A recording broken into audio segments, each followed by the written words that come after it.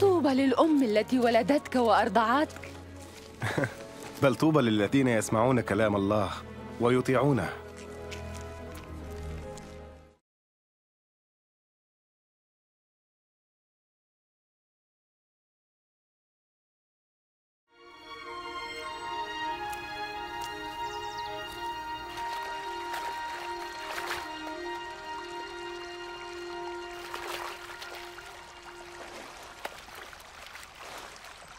علمنا كيف نصلي كما علم يوحنا تلاميذه. متى صليتم قولوا أبانا الذي في السماوات ليتقدس اسمك ليأتي ملكوتك لتكن مشيئتك كما في السماء كذلك على الأرض. خبزنا كفافنا أعطنا اليوم واغفر لنا خطايانا كما نغفر لمن يذنب إلينا. ولا تدخلنا في تجربة لكن نجنا من الشرير.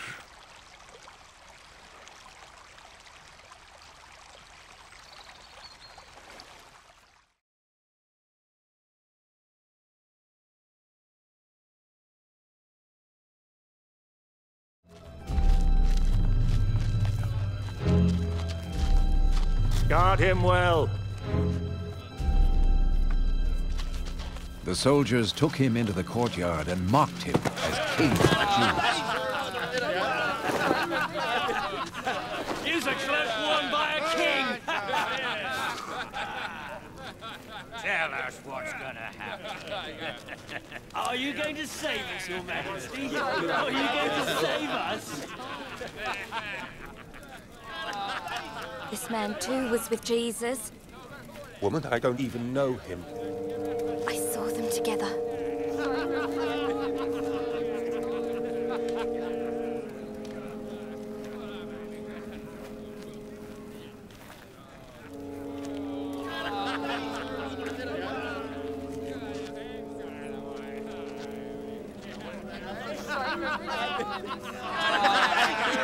How does it feel to look after somebody? You are one of them too. But I am not.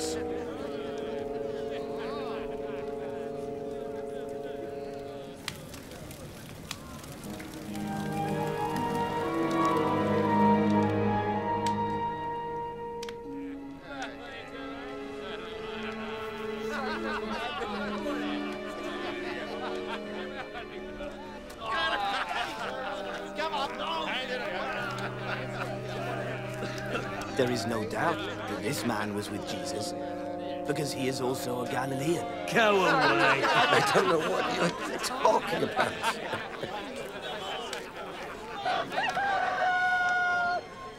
Jesus turned and looked straight at Peter. Then Peter remembered what the Lord had said to him. Before the cock crows today, you will say three times that you do not know me.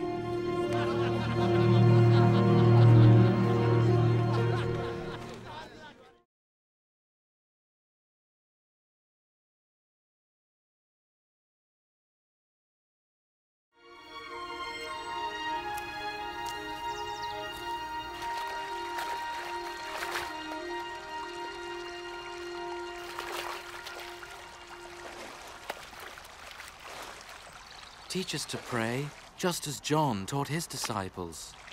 When you pray, say, Our Father in heaven, holy be your name. Your kingdom come. Your will be done on earth as it is in heaven. Give us day by day our daily bread. And forgive us our sins, for we also forgive those who sin against us. And lead us not into temptation, but deliver us from evil.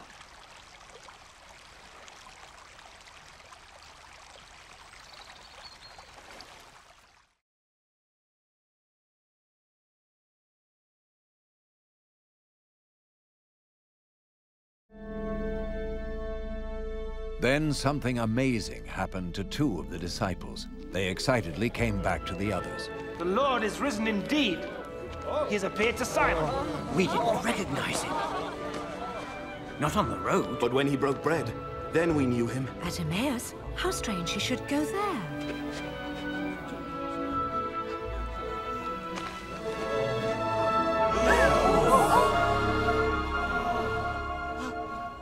Peace be with you.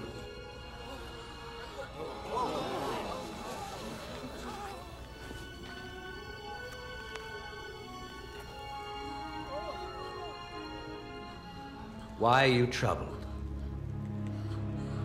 Why are these doubts coming up in your minds? Look at my hands and my feet, and see that it is I myself. Feel me and you will know. For a spirit has not flesh and bones, as you see I have. These are the very things I spoke to you about while I was still with you. That everything written about me in the law of Moses and the writings of the prophets and the Psalms had to come true. This is what is written. The Messiah must suffer and rise from the dead on the third day.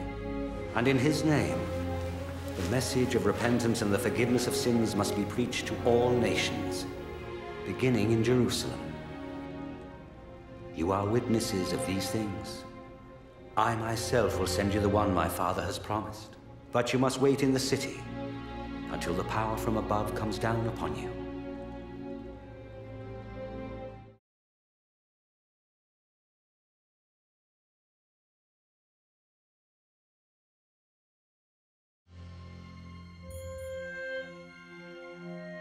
In the Holy Scriptures, God declared the Messiah would come to be the Savior of the world. The life of Jesus gives evidence that he is indeed the one the prophets spoke about. Isaiah prophesied that the virgin will conceive a child and will give birth to a son. Centuries later, the birth of Jesus was the fulfillment of that prophecy. The Holy Scriptures declared that the Holy One to be born would be called the Son of God. This means that Jesus was to be called the Son of God in a spiritual sense. We see this in how he lived his life. He healed people from disease, forgave their sins, turned them back to God, and promised them a place in God's eternal kingdom.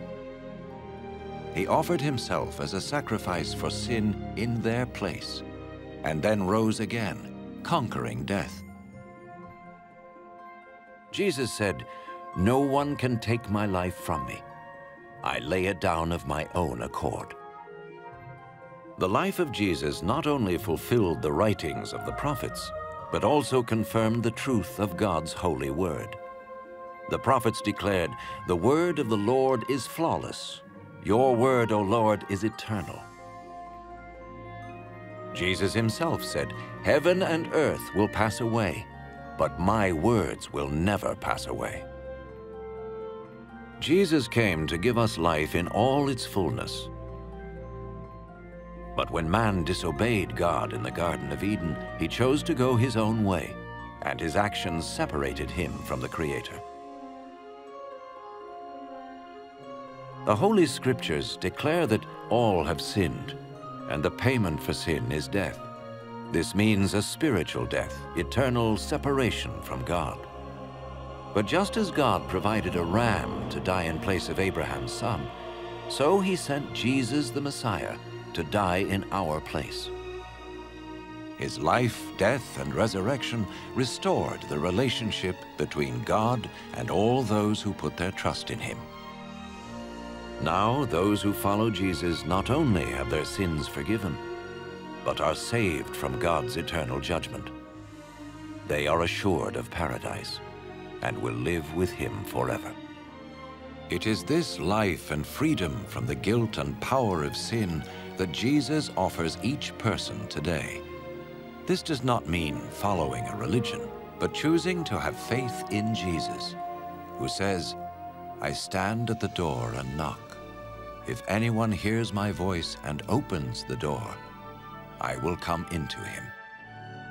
This means turning to God and trusting Jesus to come into our lives, to forgive our sins, and to make us what he wants us to be. It is not enough to intellectually agree with his claims, nor to have an emotional experience. We receive him by grace through faith, as an act of the will. When people are ready to become followers of Jesus the Messiah, they may speak to him in a simple prayer. Perhaps you are ready now to open your life to God. If so, you may join in the following prayer to Him, silently, in your heart. Lord Jesus, I need you. Thank you for dying on the cross for my sins.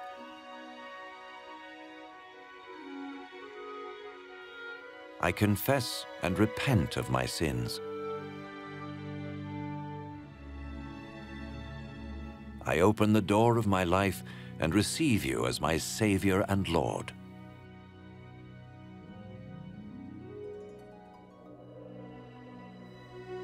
Thank you for forgiving my sins and giving me eternal life.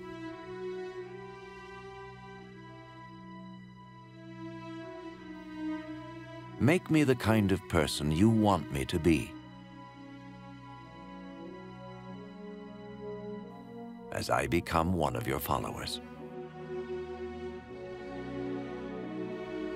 Amen. Jesus said about his followers, My sheep recognize my voice. I know them, and they follow me. In order to experience the abundant life which Jesus promised, his followers talk to God each day in prayer and read or listen to his word. They tell others about him and meet regularly with those who love and follow him. Remember his wonderful promise.